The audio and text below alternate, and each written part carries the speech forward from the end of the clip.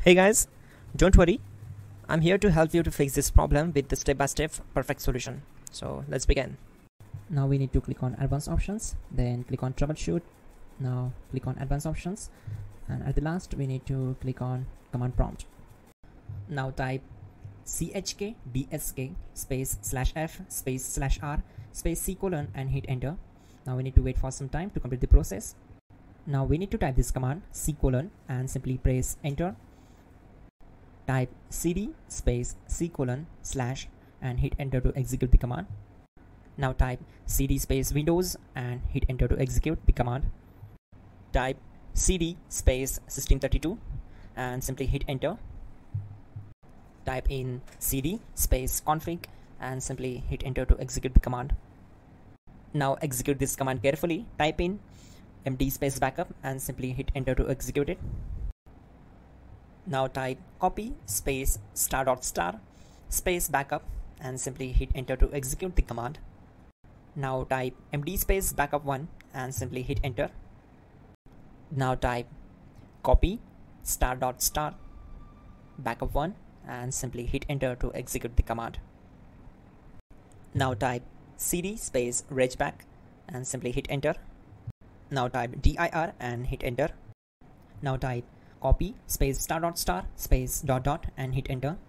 Then type all and hit enter. Now type bootrec space slash fix mbr and hit enter to execute the command. Now type in bootrec space slash fix boot and simply hit enter to execute the command. Now type in cd space c colon slash and simply hit enter to execute the command now type cd space windows slash system32 slash config slash regback and hit enter to execute. Now type this command bcd edit space slash export space c colon slash bcd backup and hit enter. Type cd space c colon slash and hit enter. Now type this md space boot and hit enter. Type cd space boot and simply hit enter. Now type md space bcd and hit enter. Now execute this command. Type cd space c colon slash and hit enter. Now execute this command. Type attrib space c colon backslash boot backslash bcd space dash h space dash r space dash s and simply hit enter.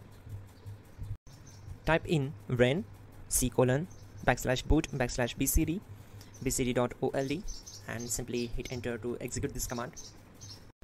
Now execute this command type bootrec space slash rebuild bcd and simply hit enter to execute this command. Type exit and hit enter. Now click on continue. It will restart your system. So that's it guys. Your problem is solved and you're good to go